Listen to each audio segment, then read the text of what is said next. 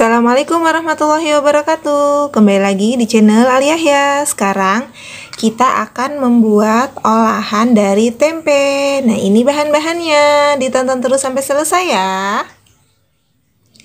Dan pertama-tama Tempenya kita goreng terlebih dahulu ya. Nah ini hasilnya.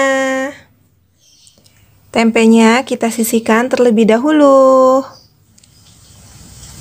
Selanjutnya kita haluskan bumbu-bumbu seperti bawang merah, bawang putih, dan cabai rawit. Nah, cabai rawitnya ini bebas ya. Mau boleh, mau pakai boleh, mau lebih dari tiga pun nggak apa-apa, sesuai selera. Sekarang kita haluskan dulu ya. Ini bumbu yang udah aku haluskan. Sekarang langsung aja kita tumis bumbunya. Ini udah aku siapkan minyaknya.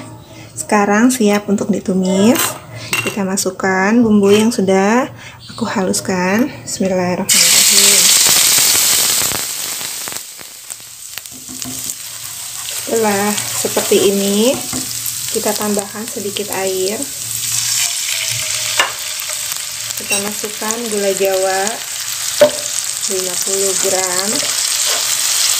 Kita aduk. Kita biarkan gula jawanya larut setelah gula gula jawanya larut seperti ini. Kita masukkan satu sendok teh garam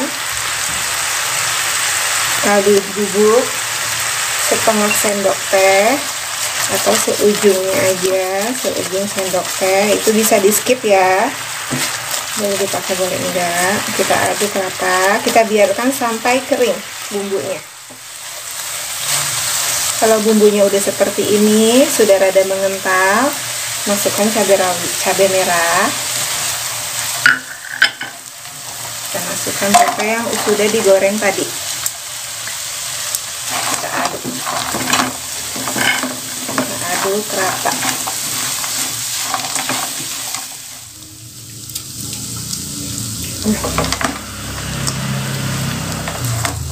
udah rata seperti ini. Jangan lupa koreksi rasa